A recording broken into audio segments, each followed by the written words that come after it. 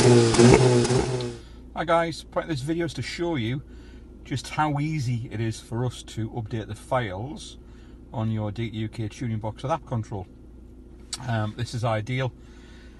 Um, say when you've changed your vehicle, um, rather than having to send the box back to us, um, you can give us a ring, uh, buy a new wiring loom if required, and then basically we can send the new files across. Anyway, I want to show you how this is done um, on this particular Audi A6.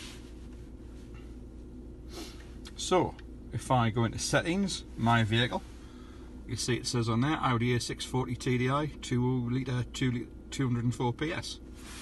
So I've got the engine running. I'm going to go into settings, software update. I'm going to go into update now. As you can see, there's a little uh, bar there with a percentage of, um, below it. Currently set at 12%. 20%.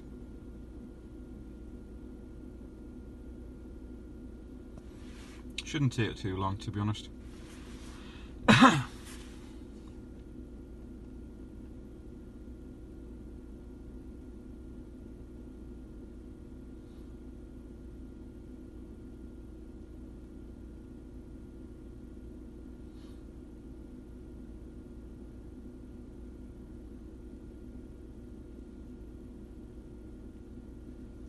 Eighty percent now.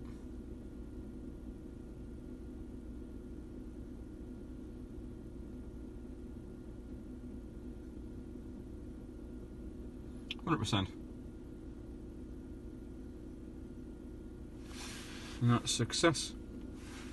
What we then do is go into my vehicle, and there you go. Obviously, I've renamed these uh, set of files to 205 204 PS development files version 2. So I then personally know um, that the files are updated and obviously they're good to go.